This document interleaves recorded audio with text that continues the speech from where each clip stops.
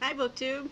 It's Peg. I'm back at the History Shelf. Um, had a couple of interesting takes. I had a, a blooper reel I may or may not upload with Boomer, and then I had a moment of severe indecision on whether to continue the video or not, and I decided on the latter of not continuing. Um, but anyway, I have the house to myself, but the dogs are sometimes they just don't, uh, you know, want to cooperate when I want to make a video with you guys. Um, they kind of, they were there for, for the last one, and then Boomer just, he needed to be fed, and so, uh, so I kind of rushed it towards the end, but eh, it was a long video on theology. You're probably like, yeah, pull the plug already. But anyway, I had a few new books I wanted to show you guys and just chat with you, um, see where my thoughts lead me. Um, first that came in, the, well, let me just start by saying, I'm going to start with something that's not a book, but, um, and this is not an ad or anything like that, but it's something within it led me to the book that I got. So anyway, I don't know if you guys have heard of or have ever listened to or downloaded or bought from the Great Courses. They used to be the uh, the teaching company. I have bought a lot of their stuff over the many years. I'd say 10 years. Started off when it when it was uh, mostly just um, CDs. Then they moved into obviously, and then the technology caught up, and they had then they had DVDs, and then they had um, they had DVDs, and then they started doing streaming uh, audio and then streaming video. And now they're on Audible. So if you have an Audible account, um, they just got these wonderful courses uh, and you can just teach yourself just about anything. Um, I've got a ton of them upstairs. I should probably just take a quick video tour of um, all the different courses I have. They're a mixture, mostly CD, uh, but then I started branching out into DVD. Some of the courses on history, you know, you want to see like some archaeology stuff, some videos, some pictures, maps of battles, things like that. Um, but I just love these courses, and that you know, driving to work, I got about a 30 minute commute and um, you pop one of these CDs in and it really just passes the time and it makes me just that's probably why my library is so huge over these years is I've just re- listen to these lectures and be like oh I want to know more about that person or about this event or that battle and then I go and get a book so having said all that I am loving this course by uh, J. Rufus Fears he's he unfortunately passed away very recently let's say in the last few years but wow, I think he's one of their most highly rated um, uh, narrators or, or, I'm sorry, like professors, lecturers. Um, he has some on video. Um, this one's called The Wisdom of History. It's a three part course, and each CD uh, has. Uh, uh, each each this box has six CDs with 12 lectures on each one. And uh, oh, it's just great. It starts off with like why we study history, then he goes into World War One and the lessons of history. Um, then he goes into the birth of civilization, ancient Israel, Greece, the Athenian democracy, all the way through Alexander the Great. I'm actually on, um, this is part one, I'm on part three, which is in my car right now. And he recently just was covering like the Russian Empire in six, six, uh, six tracks, and then the second one was on the Chinese Empire which uh, is fascinating. And I've always wanted to to broaden my knowledge of uh, Chinese history. I've so I purchased a lot of different books on them, and I just need to start structuring and project out the different time frames and countries that I want to uh, study. I think I really need to have a more um, linear approach to some of the things that I want to read or learn about. So, but the Chinese Empire and Chinese history is one of those that I really want to study. So, anyway, he was talking about how, oh, just how China evolved and um, and how uh, the Mongols really shaped both Russia and China in their history, and um, and then how also Mao Zedong um, impacted that country in a way that you know,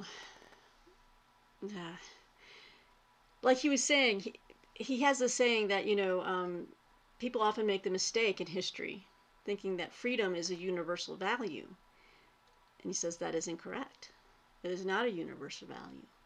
Um, so being in the West or being in America, we figure, oh, we should just, you know, uh, export out this this value because it's universal. Everyone wants to be free. Of course, you can get into different definitions about what freedom means to different people, but uh, just you know, using the standard definition of freedom of speech, freedom of you know, person, your body, your property rights, these kind of things, um, voting rights all these things are not universally agreed upon. And you have to take each country and each culture and really understand and study their history to see what their values are. You know, and some cultures value, um, like with Russia, they, their history, they like a strong man. And, um, and that has to do with how they were fighting for survival um, from east and west, from the Mongols, from the Chinese, from uh, yeah, then the Vikings coming down on the on the west side. I mean, so basically, I'm just kind of rambling here, but I'm just trying to say that um, there's always a, a mitigating factors for why cultures and countries go the way they do.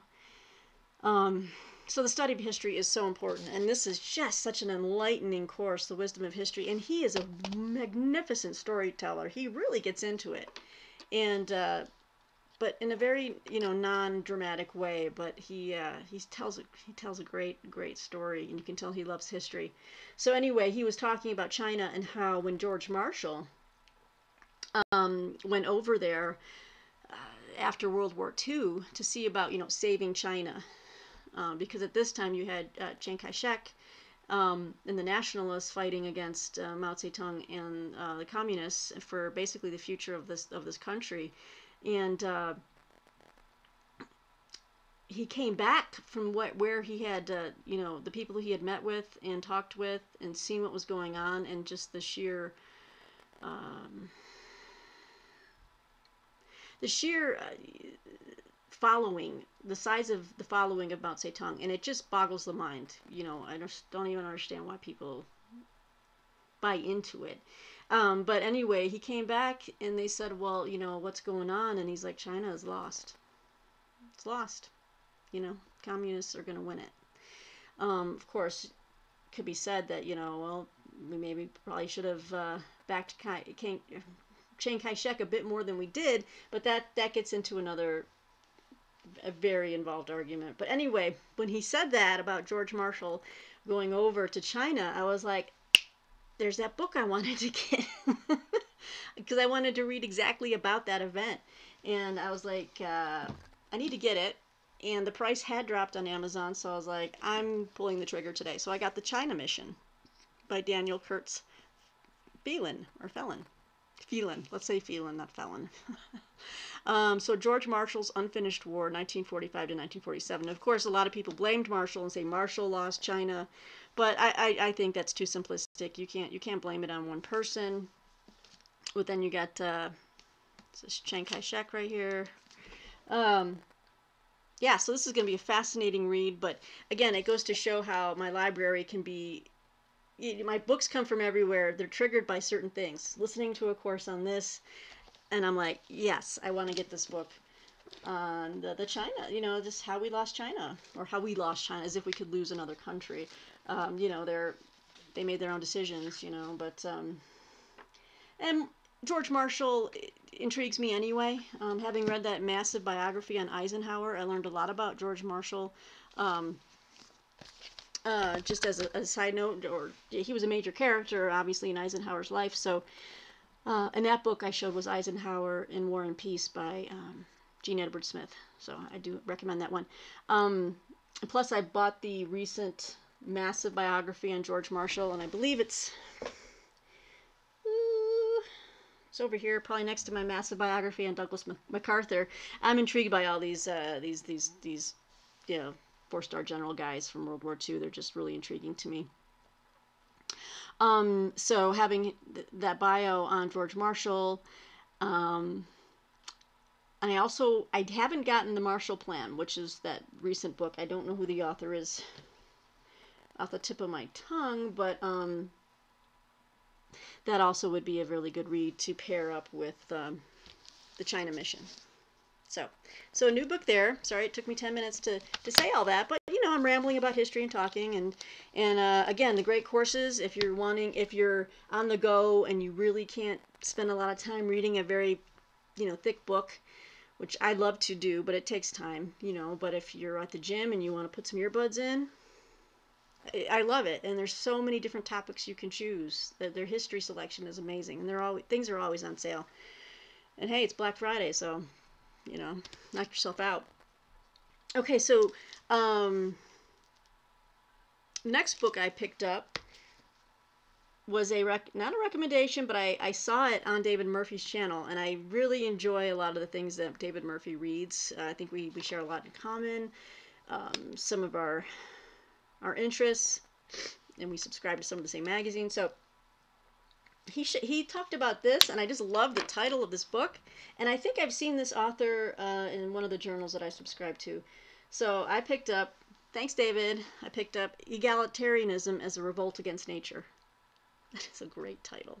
And other essays by Murray Rothbard. So, just a selection of. Uh, um, this is put out by the uh, von Mises, the Mises Institute, and um, yeah, so I, I just am intrigued. Uh, he's kind of like a libertarian type of writer, and uh, a selection of different war, peace, and the state, justice and property rights, the anatomy of the state, left and right, the prospects for liberty. This is the kind of stuff I, I, I eat up. And I'm pretty sure I've seen some of his stuff printed in the Independent Review, which is a uh, another journal I subscribe to. I, sh- I shall, you know, I'll do a journal video just showing you some of the journals I subscribe to um, and read. The Independent Review is a journal of political economy. That is what they call it. But anyway, yeah, so I got this one. Kind of excited, kind of different. Love it. So, yeah, so I got the China Mission and this one. And then this one was on sale. I, said I am a subscribing member to the Library of America series. And, um, you know, recently Harold Bloom passed away, um, a wonderful writer and critic. And um, this book was just completely on sale. I don't know why. It was just like $13. Um, and I was like, well, I'm, I'm going to add it to my collection. And it's put out by Library America, Library of America, but it doesn't look like all the other set standard books. Um, but it's called The American Canon, Literary Genius from Emerson to Pynchon. Harold Bloom, Five Decades of Writing on American Literature. I still have the shrink wrap on it. I just got it in the mail, so um, this is going to be good. He writes on uh, he writes on like uh, Emerson and Hawthorne, Poe, Thoreau, Dickinson, Robert Frost, Theodore Dreiser, Willa Cather. So just wonderful stuff. Katherine Anne Porter, um, Nathanael West, Hemingway. We got Flannery O'Connor in here, Carson McCullers, Toni Morrison, Philip Roth, uh, Cormac. Oh, Steve's favorite, Cormac McCarthy. Ursula Le Guin, science fiction writer. Um, so yeah, just a ton more. Zora Neale um, Hurston. So this is this is going to be a great a great um, book to own and have and read and just get his you know. I'd like to read more um, literary criticism. I, you know, Steve Donahue talks about it all the time, and I've seen a lot of his uh, collected essays that he likes to just browse in his library, and I'm like, that sounds nice. That sounds relaxing just you know, pick it up, read one essay on a writer or on a book, and uh, you know, learn something about you know how how you critique a book. It's it's helpful. It's helpful to me too. You know, I'm writing some book reviews and but um, yeah, I just I think it's interesting and I love reading book reviews. I and all the different journals I read. Um, I used to subscribe to Wall Street Journal.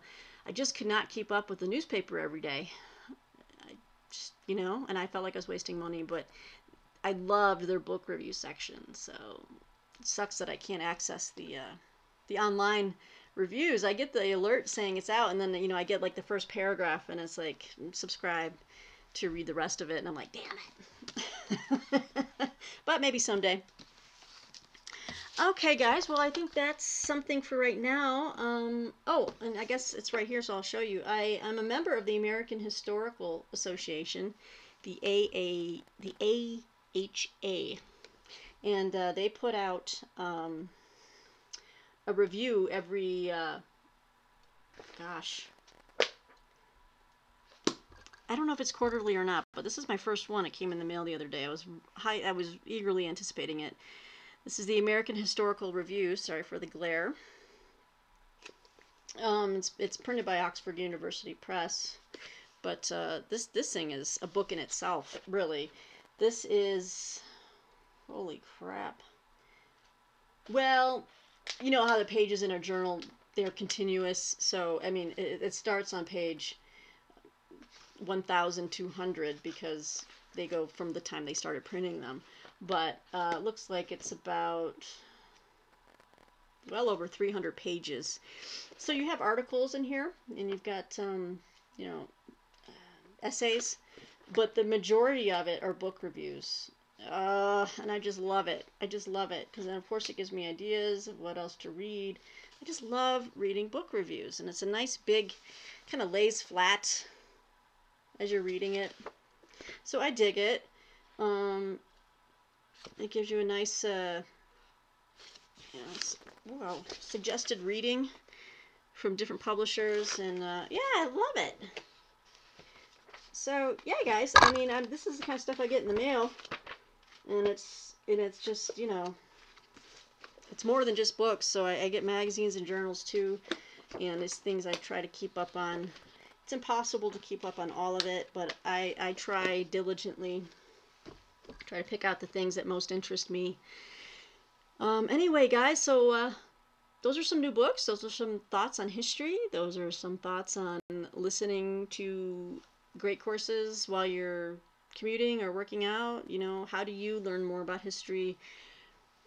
What's fun for you? How can you introduce more history or you know or nonfiction into your into your life and uh, your reading and listening habits. But um, yeah i'm just enjoying it. Again i just love reading i love learning and i just thought i'd share with you some of the ways that i that i learn. And um, yeah. Okay well i've got a dog sitting on my foot. He's needy tonight. So i will end it here guys. Um, hope you're staying warm I hope to make at least one more video this weekend. I know I was going to try to do a bookshelf tour. I have to finish The Tree. I've got two book reviews to write. And, uh, and I'm starting up another book. So, um, but I love it. I'll keep doing it. I'll make time somehow, some way. I'll get you some new content. So, anyway, I want to say thank you guys to all you new subscribers and please comment below. I love meeting you. And uh, thanks for sticking with me so long. You guys are troopers. All right, I'll talk to you soon. Bye.